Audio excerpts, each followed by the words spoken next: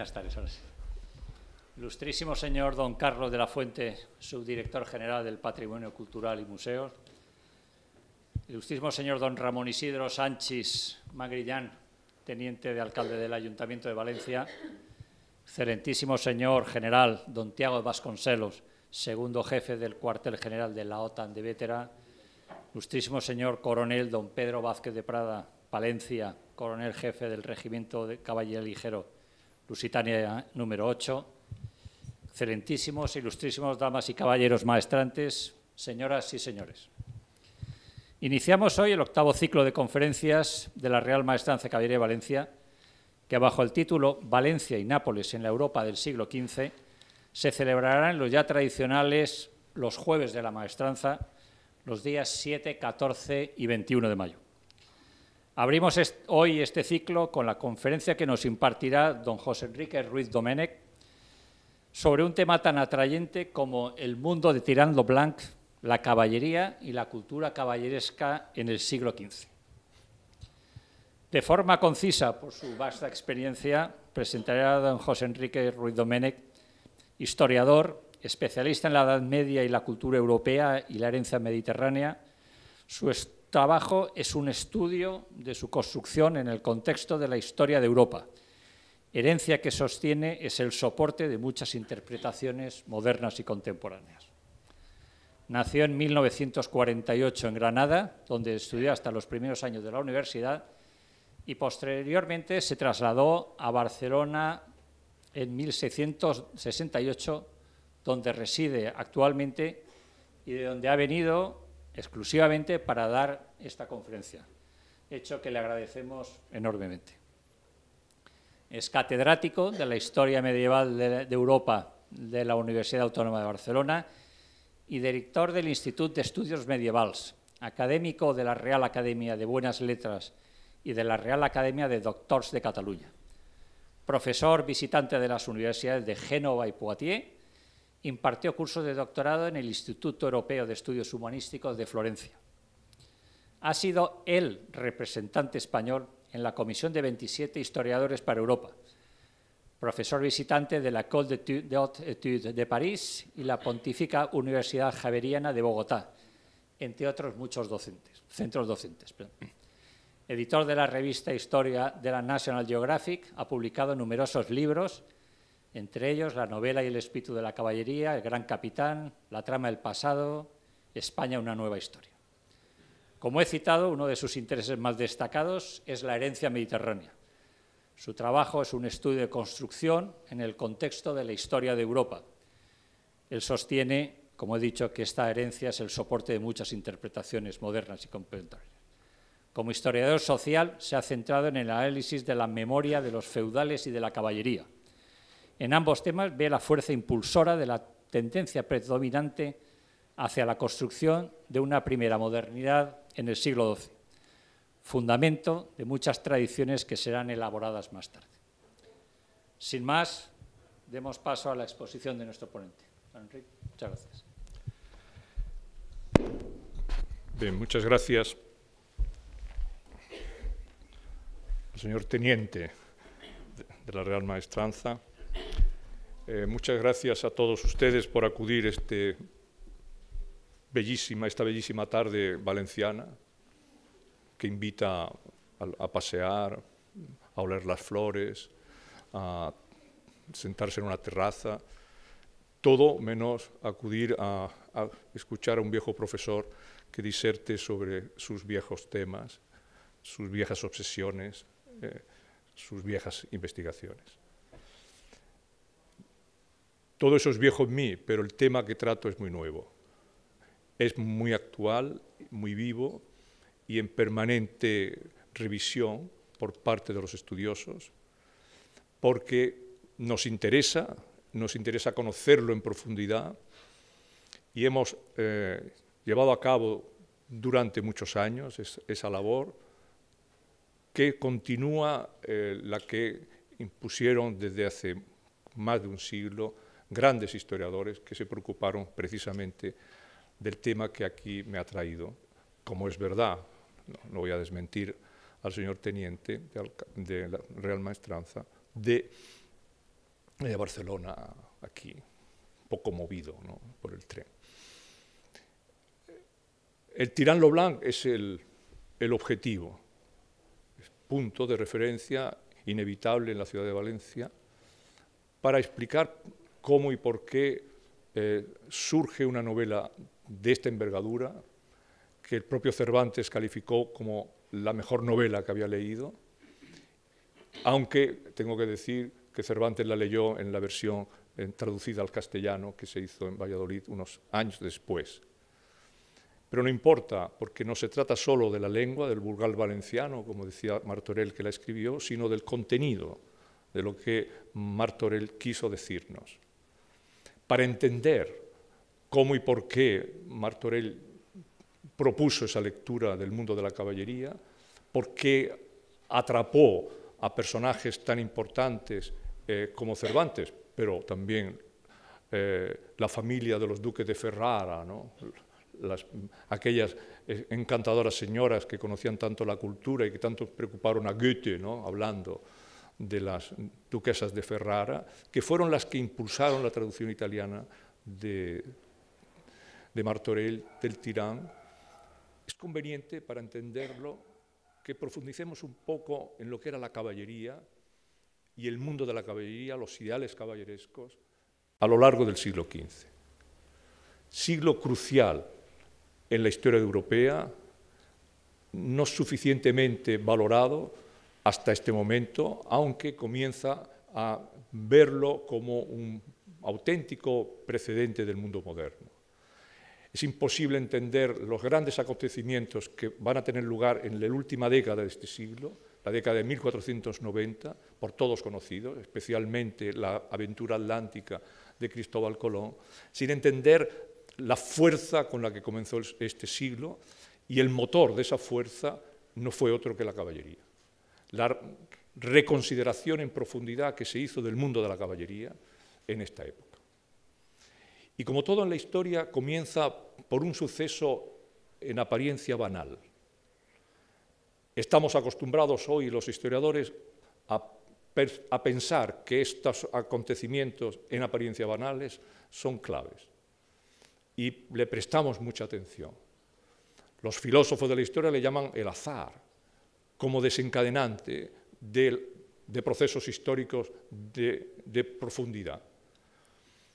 Yo podría en ese momento deslizar una especie de, de deriva clásica de las personas de edad, no lo voy a hacer, pero os explico qué deriva sería, irme a mis pasiones más personales de un individuo como fue el gran capitán Gonzalo Fernández de Córdoba, al que le dediqué una inmensa biografía, eh, cómo él afrontó en Italia la necesidad de también volver a reconsiderar a fondo el significado que tenía la caballería, en este caso en el mundo militar, en la transformación tan profunda que hizo del ejército, en este caso español. Pero no lo voy a hacer porque no es el objetivo. Mi punto límite es justo Tirán Blanc, que es la obra que culmina este periodo del siglo XV y no eh, la figura que la reconsidera y, la transforma y la lleva a la modernidad que hubiera sido Gonzalo Fernández de Córdoba. Este suceso en apariencia banal que lo desencadenará todo es una transformación en el armamento defensivo de la caballería fue impactante, e incluso del punto de vista visual. Mm, hacia principios del siglo XV aparece por una revolución en el uso del acero la armadura rígida. Nos apasiona tanto esta figura de la, eh, armadura rígida que siempre que hablamos de la caballería medieval los vestimos con este tipo de arneses. Tengo que decir que estos arneses comenzaron en el siglo XV. Cuando veis alguna película, algún film televisivo eh, situado en otra época que no es el siglo XV, en el siglo XIV o en el XIII, con armadura rígida, podéis perfectamente decir, os lo confirmo, que es un falso histórico. Es como introducir en la guerra de la independencia pues, un Sherman o un Panzer, ¿no? de estos que Guderian llevaba por los campos de Rusia. No es posible. El anacronismo es un pecado mortal en la historia. Por eso, el efecto que supuso la aparición del arnés, que se llama blanco o milanés, porque fue la ciudad de Milán en la que la diseña, es un cambio profundo en la manera de cómo se entiende el armamento defensivo. Está claro que toda transformación en el armamento defensivo obliga a una transformación también en el armamento ofensivo. Es impensable esto. Y la caballería estaba acostumbrada a una forma, a una táctica eh, en el uso, sobre todo en las batallas campales, que había alcanzado esplendor a lo largo del siglo XIV, donde se habían realizado tres importantes batallas campales. La de, Crecy, la de Poitiers y la de Nájera, que muchas veces la olvidamos porque tuvo lugar en, en suelo peninsular pero es tan importante como tres grandes batallas donde se puso de manifiesto los límites de una concepción de la carga caballeresca sin el uso de esta armadura rígida. Una de las piezas cruciales de esta, armadura es una pieza del armamento que se colocaba cerca del hombro, que llamaban el ristre, que da lugar a la famosa expresión ir en ristre, no la podemos aplicar hasta la aparición del ristre. Decía uno de mis maestros, Martín de Riquer, dice, si me enristras es que está ya situado a finales del siglo XIV, a principios del siglo XV. Aquellos que plantean que en otra época se enristraba es falso, una vez más, por ese anacronismo. La aparición de esas, de esas nuevas piezas, incluso las defensas, por ejemplo, eh, de acero, ¿no? de hierro calado, para los muslos y los y los, y, los gemelos son cruciales. Una de ellas tendrá luego el honor de ser la figura literaria por excelencia de nuestra literatura, que es el Quijote. El Quijote era una pieza del armamento que se convierte, por una de las bromas cervantinas, en el nombre del ingenioso hidalgo, que pretendió ser caballero andante. Y no lo fue.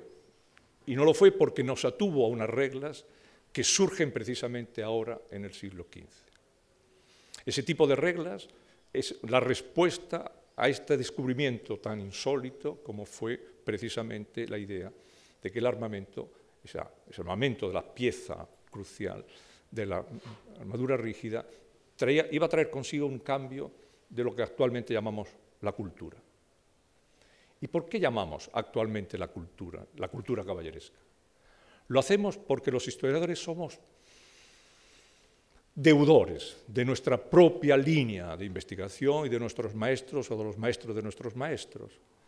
Y en una época muy difícil para Europa, donde la caballería como tal, como ejercicio de armas, estaba a punto de periclitar en su forma clásica, que fue la Gran Guerra, que celebramos 100 años de su, eh, hace el año pasado, de su comienzo, de su atroz comienzo, eh, cuando von Below lanzó eh, con una extraña soberbia eh, desde Aquisgrán, ciudad muy clásica del mundo carolingio, hasta Lieja, donde se topó con un problema muy serio, porque llegó muy rápido a Lieja, pero tardó mucho en llegar a Namur.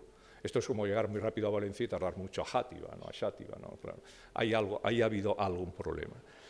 En medio de esa crisis, un gran medievalista, probablemente el medievalista más importante del siglo XX, que se llamaba Johann Huizinga, holandés, escribió un libro maravilloso, que todavía hoy leemos con admiración y que todavía se vende, lo cual demuestra no solo la fuerza que tuvo, sino la mm, intuición de explicar lo que él dijo, las formas de vida caballerescas. El título de este libro es todo un clásico, se llamaba El otoño de la Edad Media. El libro apasionó a los intelectuales españoles de los años 20, incluido Ortega y Gasset, que lo tradujo de inmediato en la editorial que él controlaba, que era Revista de Occidente, que es de las primeras traducciones. El libro se escribió en holandés, inmediatamente se hizo en, alemán, pero antes de la aparición de la francesa o italiana aparece la, la versión castellana. Excelente traducción, por, otro lado. El libro cautivó y sigue cautivando porque Huizinga trató de explicar el concepto cultura caballeresca, el efecto de ese cambio en el uso de las armas y, y del propio armamento defensivo en la creación de una nueva cultura para la caballería. Y eso le llamó el otoño, que ha dado lugar a muchos debates, pensando equivocadamente que Joicinga se refería en un sentido de lo otoñal, como de lo decadente, esa idea de que estaba deca decayendo el mundo caballeresco. Y que por lo tanto lo que nos encontrábamos era ya en la época final, lo que dijo un historiador americano, el Indian Summer, ¿no? el, el, de San Martín, que decimos nosotros, ese último verano antes del invierno. No es verdad. Joicinga no pensaba en esto. Joicinga pensaba en algo mucho más complejo, que consiste en decir, ¿cómo me puedo yo explicar el siglo XV si no me explico el motor que lo construye, que es el mundo de la caballería, como una cultura? Con una cultura que afecta, por supuesto, al grupo social que lo sostiene, que es parte de la nobleza, pero también se extiende a parte de la alta burguesía y de la burguesía media de las ciudades, que van comprendiendo la cultura caballeresca como la razón de ser. Esta es la, idea de Joicinga. Y para entenderlo hizo una especie de guiño muy musical, porque no hay que estar muy puestos en música veneciana, que el Joicinga estaba planteando es el ritmo que le había dado Vivaldi a las estaciones. Si seguimos escuchando las estaciones, veremos que el otoño no es una, no, de Vivaldi no es una, una, una, un concierto grosso en el interior de los cuatro para delimitar el fin de la obra, sino al contrario, para abrir un nuevo espacio, en este caso cromático, de la música. Lo que Joicinga plantea es un espacio nuevo para entender la caballería. Y ese espacio nuevo, otoño de la Edad Media, consistía en decir, bueno, el reto, el desafío que propone la aparición de esta revolucionaria eh, piezas de armamento, de la armadura rígida, incluso de la visera, ¿no? que permitía al, al, que iba a caballo mmm, suprimir la asfixia que suponía que para mover el casco se necesitaba a dos manos, con un golpe de, rápido se abría la visera o la bajaba, en qué momento del, del, choque estaba. Y Huizinga comienza a indagar y nos propone y propuso a generaciones de investigadores, hasta hoy, y de esto hace 100 años, como una historia paralela bellísima al propio recuerdo que planteamos sobre el significado de la Gran Guerra. Hay un, una gran historia que explica el fenómeno de la Gran Guerra y una pequeña historia que explica el significado de lo que fue la caballería en el siglo XV, desde Joicinga hasta nuestros días. ¿Cómo lo resuelve este desafío? ¿Qué hace la sociedad del siglo XV, incluida la sociedad valenciana? Porque no la vamos a olvidar, dado que ahí es donde, en ese universo, en ese humus cultural en el que va a vivir eh, Joan Martorell. El que se va a comportar como el caballero que en el siglo XV hay. Bueno, Joicinga nos invita a que lo investiguemos. Él ya no hace más. Ya es suficiente con llamar la atención, explicar el escenario, plantear que ese escenario tiene que ver con un cambio sensible en las redes comerciales, en el universo del dinero, siempre aparecerá el dinero, siempre en la historia, aunque no nos guste, siempre aparece. Cuando está y cuando no está, cuando desaparece y cuando aparece. Él lo vincula la emergencia de órdenes militares de carácter laico, la orden el Toisón de Oro,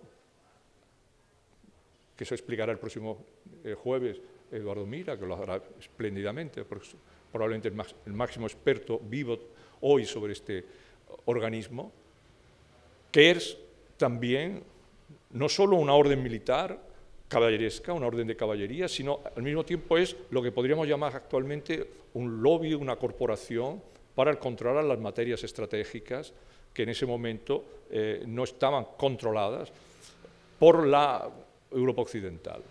Y el Europa occidental necesita, las necesita, necesita controlar la lana merina que viene de África y de, las, extremaduras de, la península ibérica, el pescado eh, de, la, Canarias, el oro que viene de África. Necesita controlar también las materias, el, algodón que viene de Egipto, el alumbre de Focea, en todo, todo lo, la lumbre es el petróleo de la Edad Media, decían los clásicos. Todo esto se hace en el entorno de ese, grupo que se viste de caballeros, que se reúne, eh, que se ponen todos al servicio del, corderito, del toisón de oro, ¿no? que llevan nuestros reyes, ¿no? y no se los quitan nunca, como vemos aquí, ¿no? Porque se sienten herederos de la tradición de los duques de Borgoña, que fueron los que crearon esta, institución. Pero todo esto, decía eh, está vinculado a algo más profundo, y es verdad, que es el cambio que se produce en el mundo de la caballería. Aquí, que él lo dejó, lo retomamos algunos. Yo personalmente retomé dos cambios que me parecen fundamentales y os ofrezco a vuestra consideración esta tarde. Primer cambio. La gestualidad y la representación. La caballería se hizo ostentosamente representativa. Le gustaba que la miraran y mirarse. Eso desencadenó uno de los momentos más particularmente intensos de la cultura eh, europea en función del trabajo a fondo de la moda. La moda en el siglo XV se hizo muy caprichosa, pero fascinante al mismo tiempo. Arrastró consigo el dinamismo de la economía, puesto que la, economía la hizo depender del consumo, que eso es una novedad casi moderna. Y del consumo vinculado a la moda, para estar a la altura de la moda de, las armas, de los arneses que acaban de descubrir. Hombres y mujeres, como veréis en las pinturas, en las miniaturas, en los grabados de la época, se, volcaron para entender ese valor de representativo y de eso condujeron algo que de algún modo vincula eh, el mundo de la caballería y la caballería misma a, esta expresión glamurosa de la moda que se desarrolla en el siglo XV, como no se había desarrollado yo creo que desde la época helenística. Y es la reconsideración y la renovación de los espectáculos deportivos de la caballería, que son las justas, los torneos y algo que emerge en el siglo XV con enorme fuerza, los pasos de armas nocturnos. Ya tenemos una escenografía para acudir. Los libros, los tratados que analizan cómo tienen que hacerse, son tratados de reglamentación, normativos, algunos bellísimos, como el libro de Charles Danjou, que, de Louis Danjou, perdón, que plantea cómo debe de hacerse un torneo, cómo debe hacerse una, justa, cómo debe de hacerse un paso de armas. Y el papel, y esto es crucial para el siglo XV y para entender a Martorell y, y el Tirán Leblanc, el papel que van a ejercer en este espectáculo la presencia de los espectadores, especialmente de las mujeres espectadoras.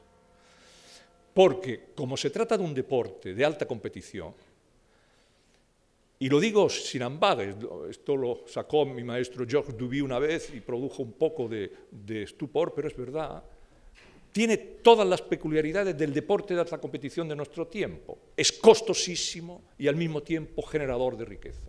Es una sorpresa esto. Es costosísimo, como actualmente podría ser, no sé, la Fórmula 1, ¿no? por poner una cuestión siempre debatida. Es lo que más se acerca, porque exigía toda una logística, para decirlo en palabras actuales, para el tratamiento que comienza desde la alimentación. Los caballeros que van a la justa o que van al torneo no podían dejar de ajustar bien porque se habían alimentado equivocadamente o se habían alimentado en una, comida local que, no, se adecuaba a su, cuerpo y por lo tanto estaban debilitados porque perdían.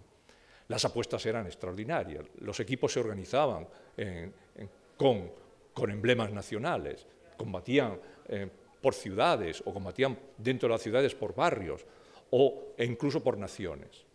Todo este mundo que se acerca tanto a nuestro deporte de alta competición hace que la caballería adopte ese rol representativo que tiene el deporte de alta competición, ese rol dinamizador del movimiento económico y las ciudades se sienten atraídas porque se practiquen en ellas este tipo de espectáculos.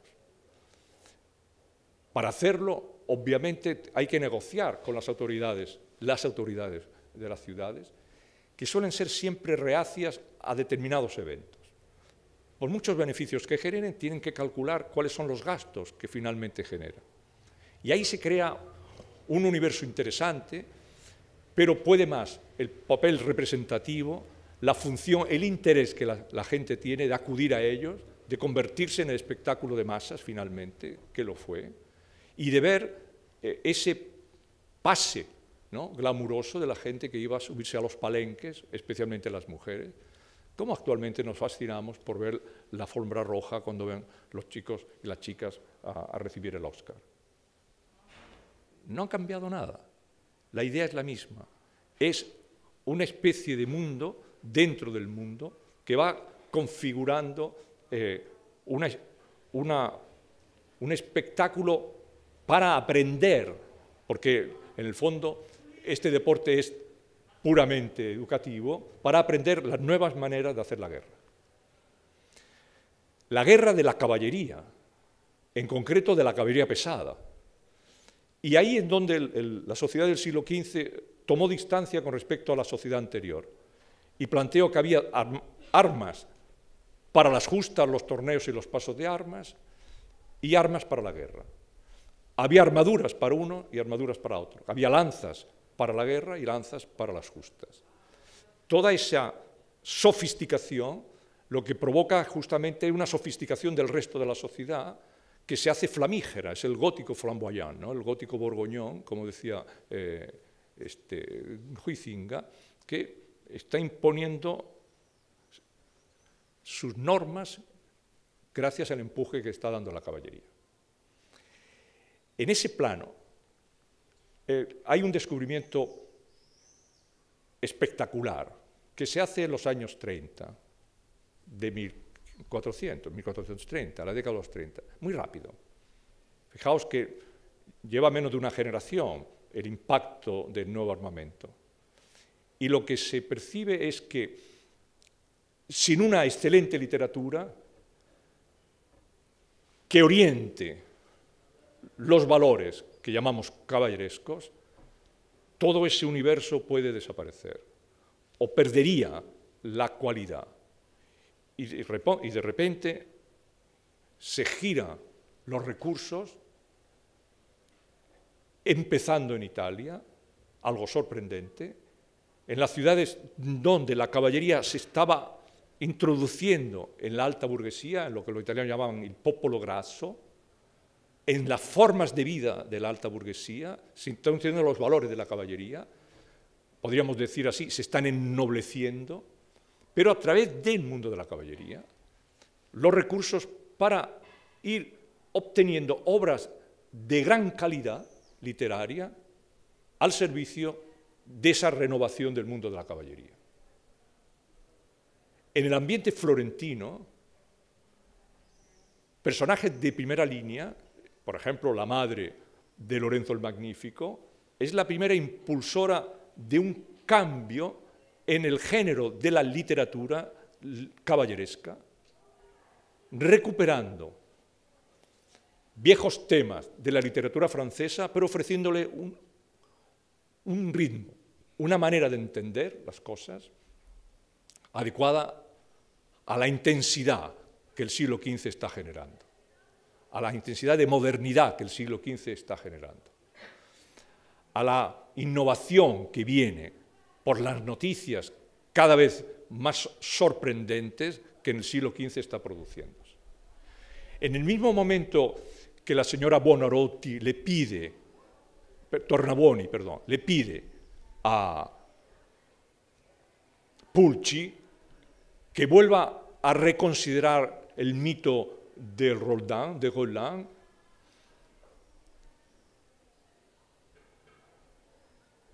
Los portugueses avanzan por el Atlántico Sur. Han abandonado Cabo Bojador. Eso, para cualquiera que navegue, sabe el, problema. La estrella polar ha desaparecido. Y tienen que empezar a aprender a navegar de otra manera. Eso le llevará muy rápidamente al Río de Oro, le llevará al Golfo de Guinea, en menos de 20 años.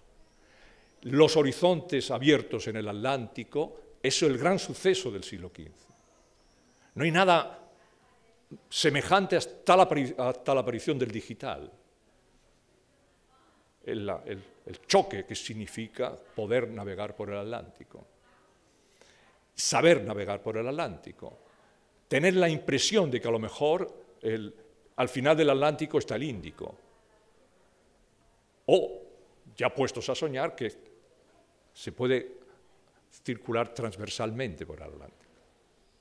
Fijaos qué planteamientos más serios en el momento en el que la cultura, la cultura caballeresca, se está replanteando una literatura para darle forma, musculatura al mundo de la caballería. Como ocurre en estas circunstancias casi siempre, y eso le fascinaba a Joizinga, porque Joizinga vivió en una época muy turbulenta, donde ocurrió esto que os voy a decir. Siempre aparecen grandes figuras literarias. Muy pocas veces en la historia, cuando se crean estos ambientes tan profundos, no aparecen grandes figuras literarias. En Italia en concreto, la sorpresa fue un individuo que se llamaba Boyardo, Mateo María Boyardo. Boyardo escribe un libro, El Orlando Inamorato, que es una revolución en el concepto de lo que es eh, la novela de caballerías. Es una revisión en profundidad de lo que había sido hasta ese momento la literatura caballeresca, que desde el siglo XII, con Chrétien de Troyes en adelante, se había configurado en torno a una problemática que fundamentalmente era la, búsqueda, la aventura, ¿no? la queste, la quête, ¿no? hacia un objeto mágico, místico, misterioso, ¿no? muy valenciano, el grial. ¿no? Pero que ahora Boyardo lo plantea como un ejercicio de relación personal, de los individuos entre sí, la dificultad que tiene un hombre de entender a una mujer y viceversa. Ese punto que Boyardo plantea en el Orlando Inamorato, introduciendo la figura de, Roland como el buscador de una interioridad, genera este doble mecanismo, ese doble plano de la literatura caballeresca desde entonces, que culminará, no os, quepa la menor duda, en Cervantes, pasando por Jonas Martorell en el Tirano Blanco. Primer elemento. Hay que buscar un personaje que explique cosas y que construya la vida como una biografía. Boyardo, que no lo hace, está indicando claramente el mecanismo que va a permitirle a Martorell escribir Tirano Blanco. Y es curioso que Martorell lo escribe con independencia de la influencia de Boyardo. Lo escribe en una estancia larga que hace en Inglaterra, donde se dispone a revisar a fondo la literatura caballeresca en lengua inglesa del siglo XIII y XIV, en Middle English, especialmente una de un vinculada al duque de Baroy, que es su, su anfitrión. Y a partir de ahí encuentra la clave de crear un personaje que explique cosas del mundo como una biografía. Y las biografías, y fijaos lo cervantino de este argumento, 150 años antes que Cervantes lo pensara, terminan, si antes de terminar bien, en la cama muriendo el caballero. Como gusta, decía, ¿no? en una expresión de Quijote, cómo gusta aquellas historias de caballeros donde los caballeros mueren en su cama. Es verdad que Cervantes juega con esto porque quien está pensando es en el gran capitán, que muere en su casa, en su cama, rodeado de, sus hijas y de su esposa, del secretario que toma nota, por cierto se llamaba Franco, pero nada que ver, ¿no? y de algunos allegados. Está pensando en él. El gran capitán muere, personaje que ha construido la vida como una biografía. Martorell piensa exactamente lo mismo. La vida de su personaje tiene que tener un comienzo, un comienzo en el universo caballeresco y un, y un final. Primer elemento. Pero el segundo es mucho más interesante, también boyardesco, que repito, sigue también Martorell. El problema ya lo sabéis, que Martorell escribe la obra muy pronto y por cuestiones de procedimiento editorial la publica muy tarde. Algunos dicen que la secuestraron porque tenía una deuda. Da igual ahora eso. El problema es que cuando la escribe, la escribe en el mismo ambiente que Boyardo está desarrollando este doble principio. Y él desarrolla el mismo. Segundo, es que el yo de ese personaje experimente cosas. No solo explique cosas, sino experimente cosas. Ahí está la clave de lo que pretenden para la caballería esta literatura, la experiencia. Y ahora viene una frase que siempre me había cautivado de, de Martín de Riquer. A mediados del siglo XV, dijo él, es imposible distinguir una biografía caballeresca de una novela de caballería.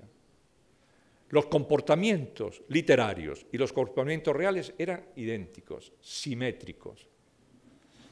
La literatura imita a la, sociedad y la sociedad imita a la literatura, en una especie de círculo que no es vicioso, en este caso es juicioso, que genera un interés por la literatura, por el debate de la literatura y la aparición de grandes obras que además son obras muy largas, como le pasa al tirán, para poder dar tiempo a que experimente cosas. ¿Qué tienen que experimentar? ¿Qué va a experimentar la caballería a lo largo del siglo, de la segunda mitad del siglo XV? Si Martorell hubiera eh, publicado la obra en el momento que la escribió, toda la gran literatura que se escribió en la segunda mitad del siglo XV hubiera sido deudora de él. Pero curiosamente, al ser publicada tardíamente, es deudora del ambiente cultural que se creó en la época. Y por eso cuando aparece su obra, nadie se sorprende, porque en, el ambiente está esa realidad. Hubiera sido una sorpresa si se hubiera escrito, publicado en el momento que la escribió. Esas pequeñas cuestiones del dinamismo de la sociedad en ese momento. Experimenta. Voy a deciros cuatro, cinco cosas que experimenta. Y esas cinco cosas que experimenta nos llevará claramente a dos momentos claros de la caballería el momento real y el momento de su turbación quijotesca, para que expliquéis, para que comprendáis bien el argumento de que la caballería se ha convertido en un fenómeno cultural. Primera cosa que experimenta. Ya veréis que aquí es Martorell en estado puro, el amor. Vuelve a recuperar el amor. La literatura caballeresca lo, lo recupera como un elemento de la experiencia. Y fijaos bien que Martorell construye la novela sobre las relaciones que mantiene, directa e indirecta, las aceptadas y las rechazadas, a través de siete mujeres que le proponen siete formas de amor. De hecho, hace muchísimos años, tanto que ya no lo recuerdo, yo escribí un librito titulado Siete donas para Tirán, que me publicó el Ayuntamiento de Valencia, precisamente, con prólogo de la alcaldesa de entonces, que es la de ahora. Eh, porque le gustaba la idea de que la novela se hubiera construido sobre esa experiencia de las mujeres sobre el amor. Efectivamente, la experiencia del amor, que ya está en Boyardo y como está en Martorell, estará presente en toda la literatura caballeresca del siglo XV, culminando, por supuesto, en la obra que servirá de referente a, Cervantes, que es El Orlando Furioso de Ludovico Ariosto. Estamos hablando de obras de primera magnitud en la literatura universal.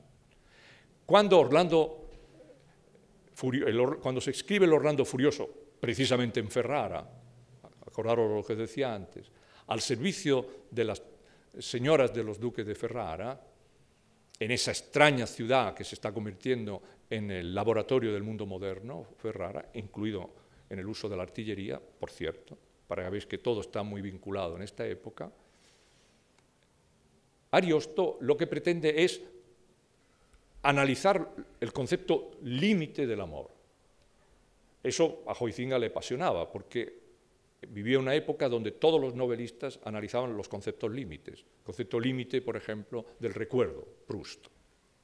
Concepto límite de, la errancia eh, de, un, sistema político, Musil, etc. Conceptos límites. Es una cosa muy novedosa, pero que hemos descubierto hoy día gracias a las investigaciones sobre ese particular. El amor tiene ese límite en el comportamiento. El amor tiene una lectura en Boyardo diferente a la de Martorell, porque Martorell introduce algo que estaba amagado en la sociedad, apartado, que no formaba parte de la experiencia caballeresca, que es la parte carnal del amor, que es la sexualidad.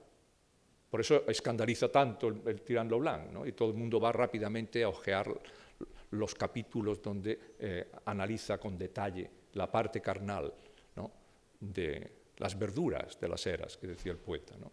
estas cosas. ¿Por qué le interesa? Porque es la experiencia, la experiencia desechable como la experiencia desechable, es decir, es como siempre un refuto para alcanzar la experiencia verdadera. Al final es Carmesina la que vence en toda esta historia. Es Angélica, que de tanto huir es la que vence. Angélica fuge, que dice el Ariosto. El amor. Segunda, segunda. La aventura. Se invita a la caballería a que asuma de nuevo la aventura como un hecho real. La literatura le provoca que convertir la aventura en un hecho real, que encuentre espacios, geografías, poderosas geografías, donde pueda desarrollar la aventura caballeresca. Lo sorprendente es que la literatura de la segunda mitad del siglo XV, y ahí entra la literatura castellana, especialmente un libro que terminará codificándose tardíamente eh, a través de un escritor no muy talentoso, que es el Amadís de Gaula, porque Rodríguez de Montalvo recopila eh, diversas obras anteriores, le da forma y contenido al servicio de la Reina Católica, y donde invita que la experiencia fundamental más allá del amor, que por supuesto existe, Amadís con Briolanja, y todas estas cosas, es la aventura. Pues bien, ese ideal de la aventura caballeresca, en lo real, lo van a llevar en sus mochilas y los libros que lo indican, los conquistadores, cuando se enfrentan en México y en Perú con unas geografías que son claramente literarias son tan sorprendentes que parecen surgidas de la literatura, pero eran reales, aunque ellos le dan nombres de la literatura. Casi todos los nombres que los conquistadores iban dándole a las cosas que veían, los extraían de la literatura caballeresca. De la Amadís salen todos, California es un, nombre que sale de la Amadís, y tantos otros. ¿Por qué? Porque han encontrado el espacio de la aventura. Es un espacio real. Y además, no solo un espacio real, sino donde la vida como, como una biografía es factible. Tú vas allí de un determinado modo y regresas de un determinado otro modo. El caso de Cortés es ejemplar en este sentido. Y todos aquellos capitanes que abandonando el proyecto imperial europeo se lanzan al proyecto imperial español, como decía Sir Eliot, que es el auténtico imperio. El imperio español era el imperio atlántico, no el imperio eh, eh, alemán. Eso Carlos V lo dejó muy claro dejándose al segundo hijo, desligándolo de la corona. Eso es canalizar la experiencia caballeresca en un mundo real. Esa es la encrucijada de Quijote.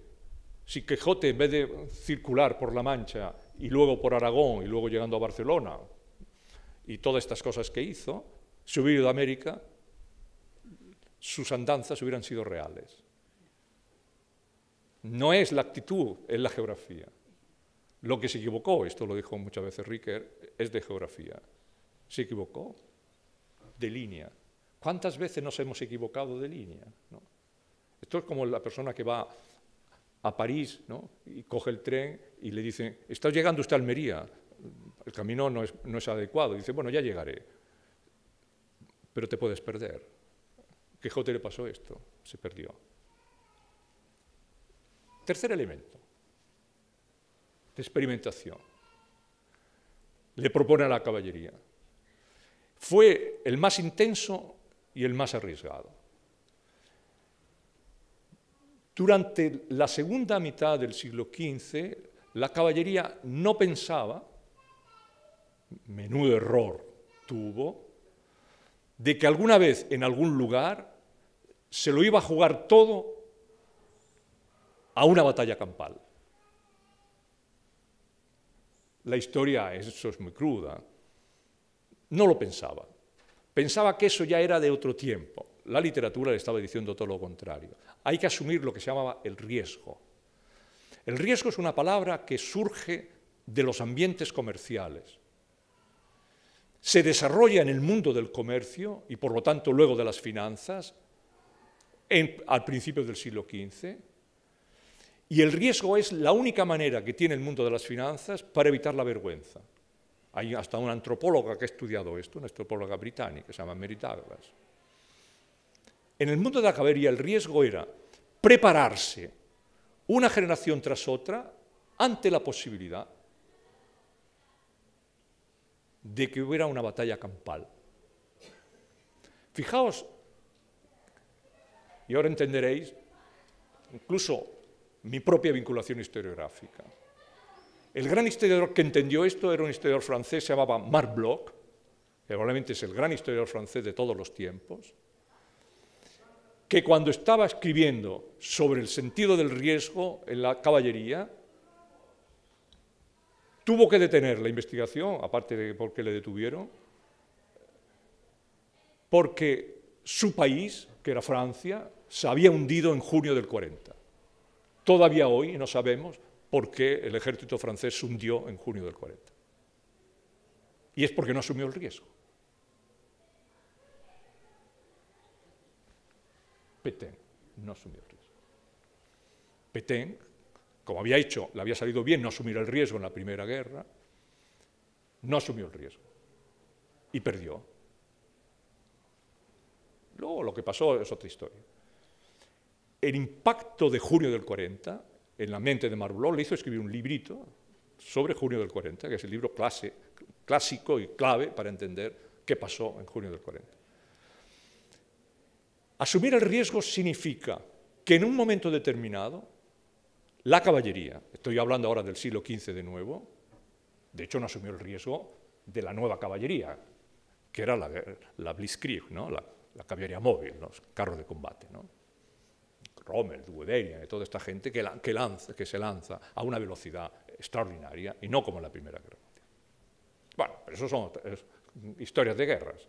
En el siglo XV la cuestión era, va a haber una batalla campal.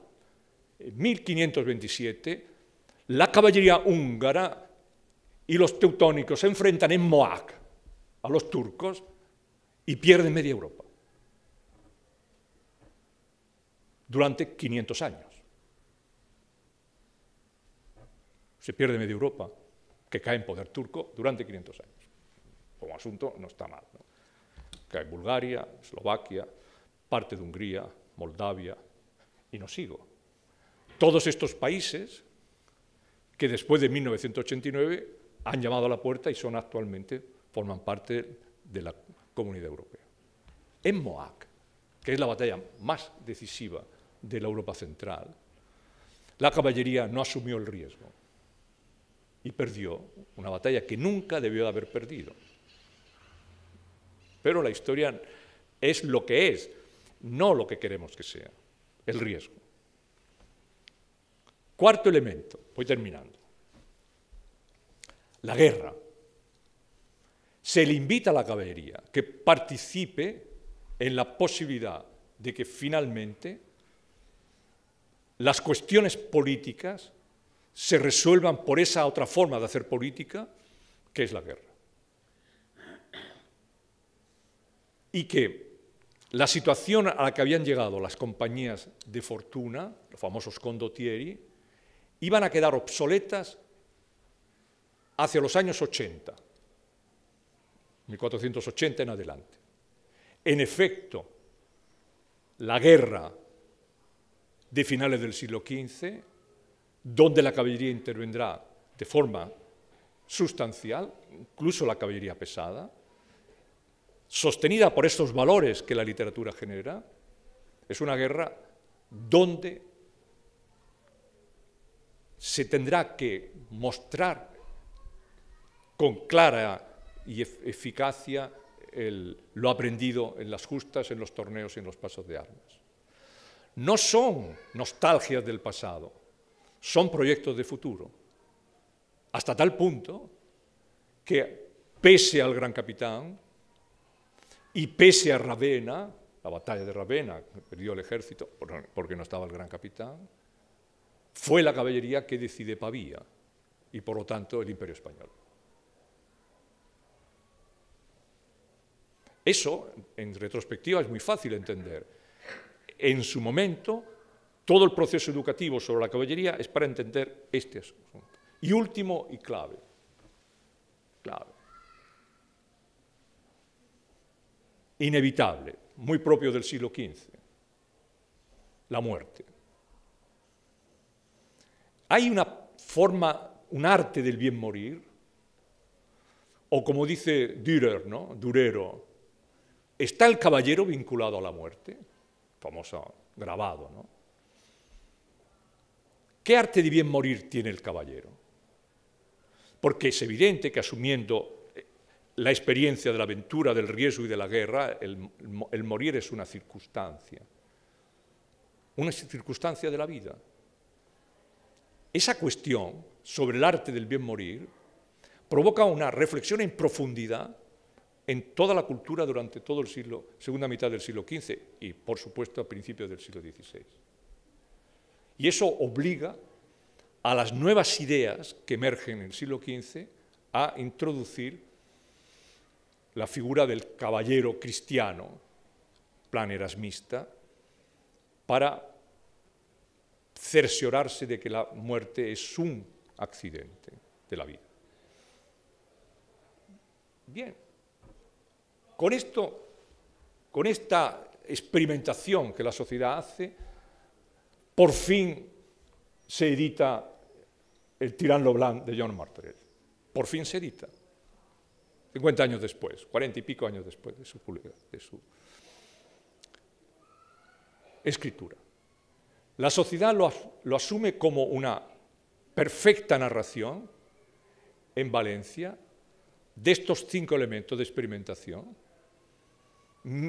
puesto que en el interim entre la, escritura y la publicación, Valencia ha recibido el impulso urbano de convertirla en, un lugar donde la caballería se, ejerce.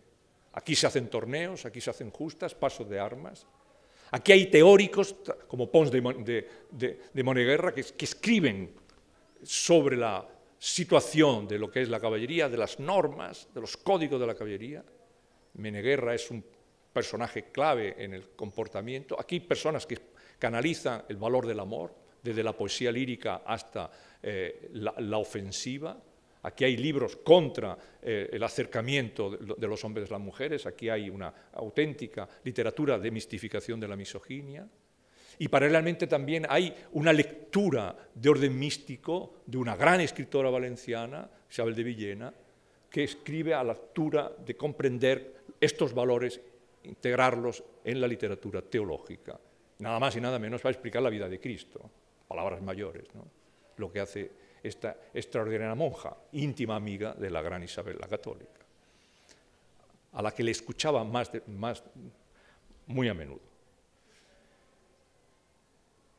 ¿Por qué fascina Martorell? ¿Por qué fascina a los de Ferrara y por qué luego fascinará Cervantes? Por una razón muy sencilla. Martorell ha resumido en su larga relato, en su larga narración, un hecho clave en la conducta caballeresca del siglo XV que se proyectará en el siglo XVI. Y es que la celebridad pasa por ser caballero. Cuando un enfermo, y con esto termino en honor de mi admirado maestro y amigo que, tengo aquí, eh, cuando un enfermo Carlos V acepta ser pintado por Tiziano, sale de la cama, se viste de caballero, se monta a caballo y dice, así yo entré en la batalla de Milberg, la gran batalla. Ya sabéis que no, pobre, acudió en Angarillas a la batalla. ¿no? ¿Por qué? Porque la celebridad del personaje, lo que nos ha conservado para la eternidad es que finalmente el dueño del mundo, Carlos de Gante, fue un caballero. Muchas gracias.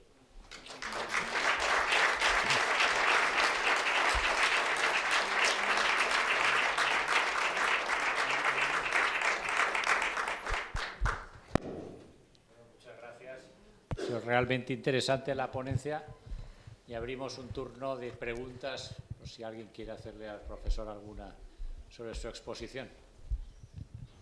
Estaré encantado de escuchar. No sé si de contestar. Permiso.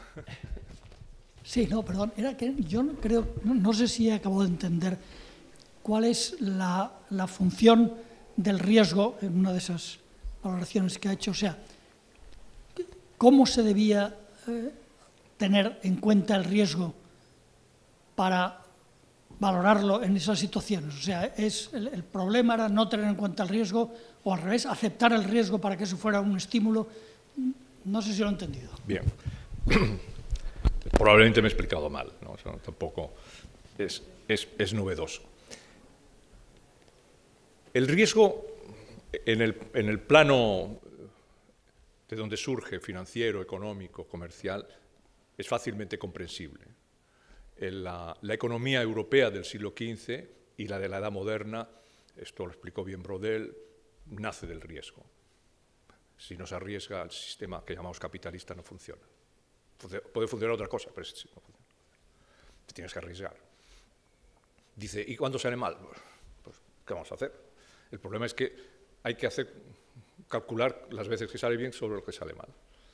Eh, si yo me hubiera arriesgado de joven, le hubiera comprado las acciones que me ofrecía el señor Billy Gates, pues ahora pues, sería un señor adinerado. ¿Por qué me hubiera arriesgado? Eh, ¿Quién me garantizaba que el futuro era, Internet? Y, nadie.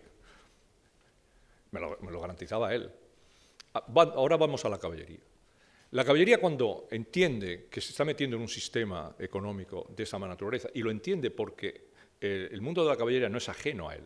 Como antes he dicho, el Toisón de Oro es una orden militar la más prestigiosa del mundo de la caballería y está allí mm, no solo para reunirse para hacer fiestas y torneos, que sí, que lo también, pero en los puntos del orden del día a lo mejor el segundo era para decidir qué hacer para controlar bien la, el, el alumbre, por ejemplo, o para controlar la, llegada de, de, las, de, la lana o lo que sea. Es decir, está planteando problemas de, estrategia económica muy seria para poder provocar ese fenómeno tan sorprendente del, siglo XV, que se ha aplicado al siglo XVI, pero que es del siglo XV, hoy sabemos bien que es esta la cronología correcta, que es invertir el orden del mundo. Es decir, la zona pobre se hace rica, la zona que no tiene materias primas que es Europa, se hace rica. Es una cosa sorprendente porque se hace rica y, además con un crecimiento cada vez más eh, acelerado. El riesgo en la caballería es, en ese ambiente, la caballería necesita prepararse tanto para los juegos como para transitar que ese deporte de alta competición que tiene, las justas, torneos, etcétera, es también un aprendizaje para una guerra posible que se tendría que dar. En la guerra, y en concreto en la batalla campal, en el uso que puede tener la caballería, tanto la caballería pesada como la caballería ligera, que se desarrolla paralelamente como elemento táctico, es sobre la base de la cultura caballeresca que se está creando. Asumir el riesgo significa determinar claramente cuándo tienes que atacar y cuándo no tienes que atacar. Cuándo atacar es lo correcto y cuándo atacar lo incorrecto. El ejemplo más clásico de un riesgo equivocado fue eh, el duque de Nemours en la famosa batalla contra el gran capitán. Es decir, no ataques a un señor que está bien aposentado, que te ha creado zanjas y que mm, te espera tres meses antes, que ha decidido el lugar de, ocupación y por lo tanto tu carga de caballería está condenada a lo que fue una masacre y es evidente que Ceriñola fue un éxito militar estratégico y táctico del gran capitán. Asumió mal el riesgo, porque estaba convencido, por la literatura caballeresca que llevaba encima el duque de Nemours, de que el riesgo era el valor supremo, pero eh, debería entender que el riesgo en ocasiones es, en este momento, hubiera sido en ese momento, retener esa forma, ver cómo está el enemigo. El riesgo en Moac fue no atacar. Moac fue, salvando la distancia, ancio. Tú ocupas el territorio y dices, bueno, uy, que, estos son muy peligrosos, me quedo. Cuando, cuando, cuando quiere reaccionar, los otros están posicionados. No había genízaros cuando llegaron, y cuando atacaron de verdad ya estaban llenos de genízaros. Una masacre tremenda. Eso es el riesgo. El riesgo en la carrera militar es complicado, eh, porque en el mundo militar, desde el siglo XV en adelante, eso no se había producido antes, quizá se había producido en la época romana, y por eso hablan de renacimiento, recuperar los valores del mundo romano. Y es verdad, piensa que el gran capitán elige Ceriñola porque está al lado de Canas, ¿Dónde los romanos se equivocaron? Claramente, porque desplegaron demasiados soldados al espacio. En fin, perdonar que antes militares hablar de táctica es muy complicado, pero eh, el riesgo está asumir esto. La carga de caballería, si se hace bien, es perfecta. Si se hace mal, es un desastre. ese punto, el análisis, el concepto, claro, porque viene del mundo de la economía, es el riesgo. Invertir bien es un acierto que favorece a las personas, a las sociedades, a, los países. Hacerlo mal arruina a las personas y a, los países.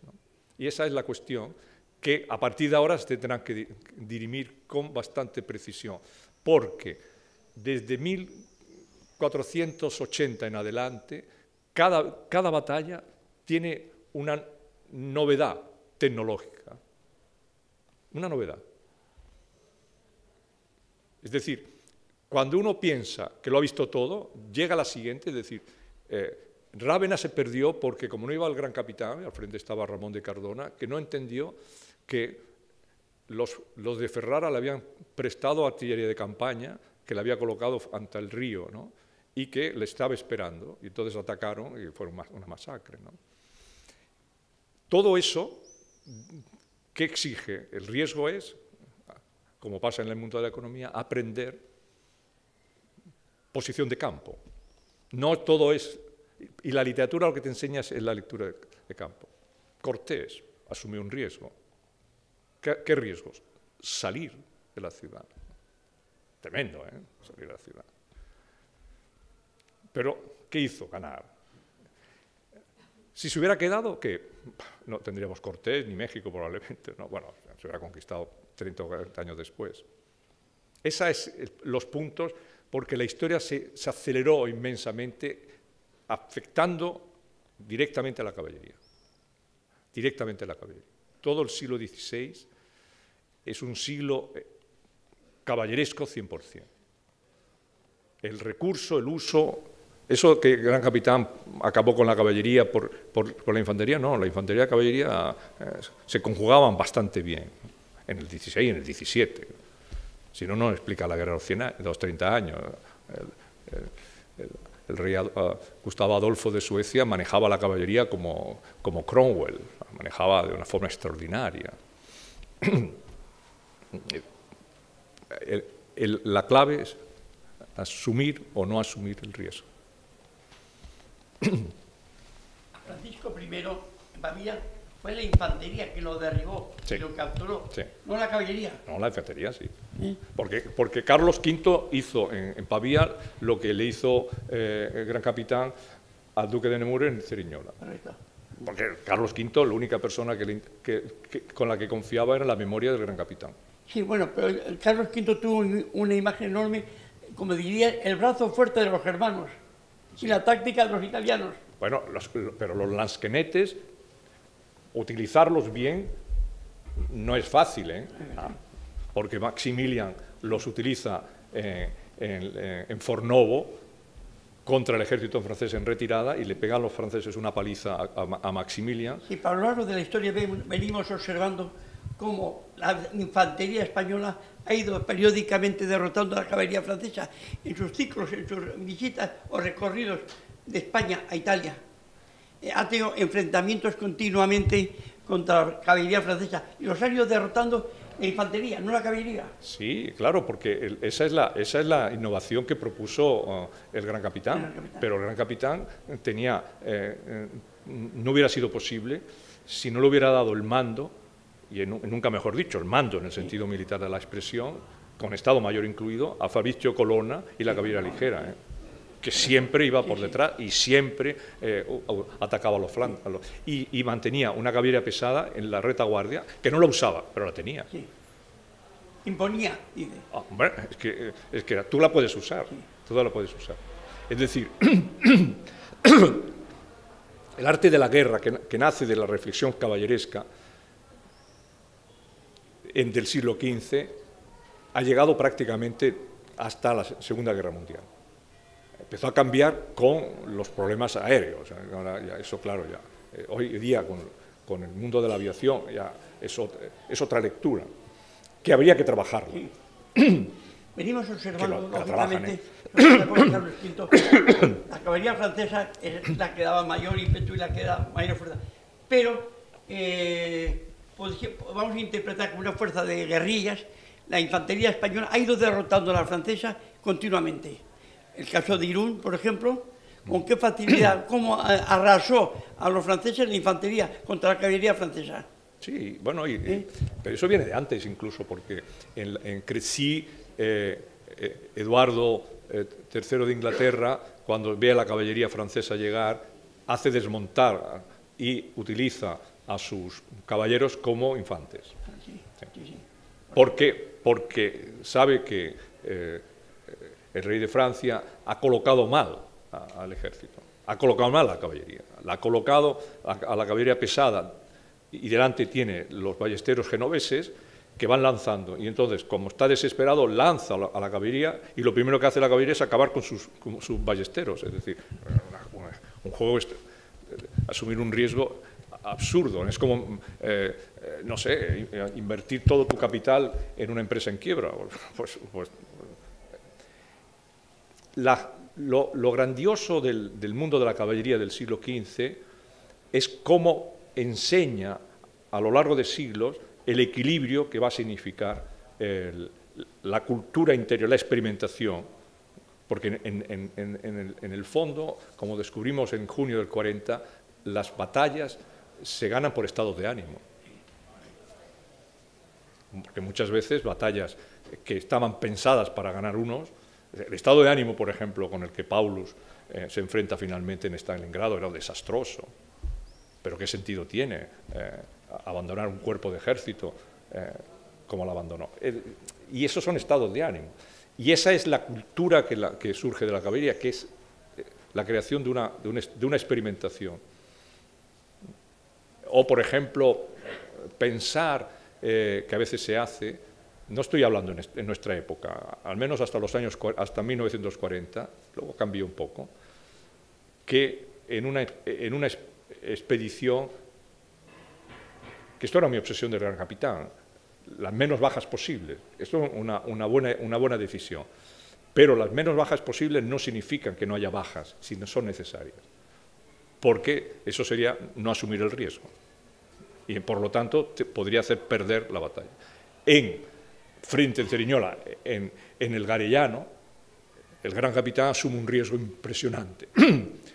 Hay dos veces dos grandes personajes que asumen el mismo riesgo, que uno es Gonzalo Fernández de Córdoba en el Garellano y otro es Washington en el Potomac.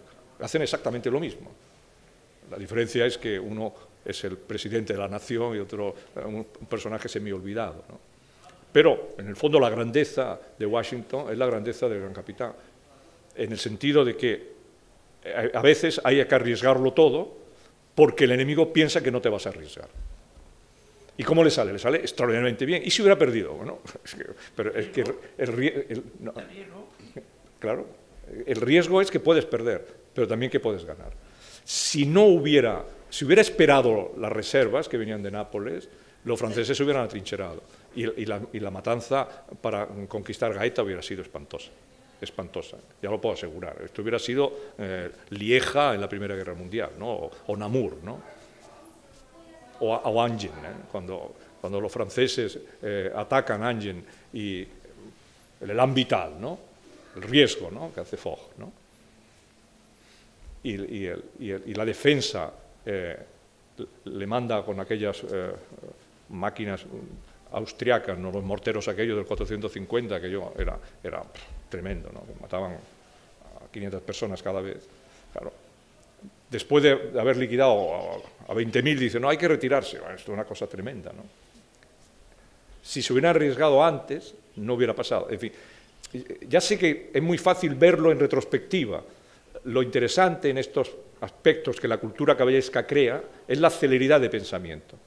Y de hecho el gran capitán, y esto traté de, de mostrarlo en mi libro, es un hombre que surge de la lectura de la cultura caballeresca.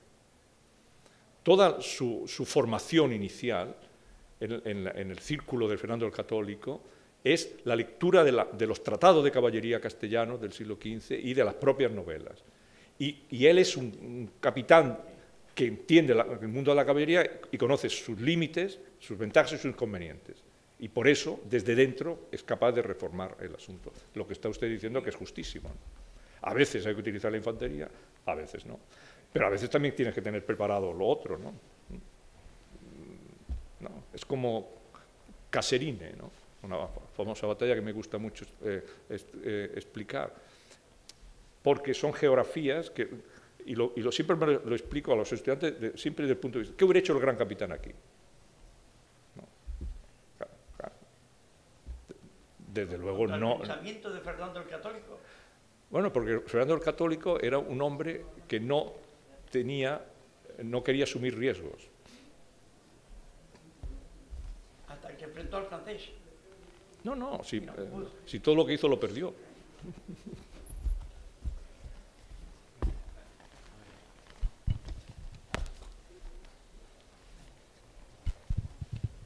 Muchísimas gracias, profesor, por introducirnos a los principios de la caballería y los principios caballerescos que tan unidos están a esta, Real Maestranza. Principios que a lo mejor la sociedad muchas veces no, no ha reconocido y ha transmitido como valores permanentes en la historia, pero que se alargaron a lo largo de siglos. ¿eh? que fue una vivencia permanente. Tenemos aquí las pinturas que nos Sí. enseñan a la caballería en la guerra de, contra los franceses de independencia y Sí. donde luchó esta casa. Y sobre todo le queremos agradecer por, por la pasión ¿eh? con la que ha tratado un tema que se ve que, que, que lo ama. ¿eh? Así, que, así que se lo agradecemos. Es un viejo compañero, es un viejo compañero de, de- de la vida. Es un viejo compañero de la vida. Gracias. eh. Thank you.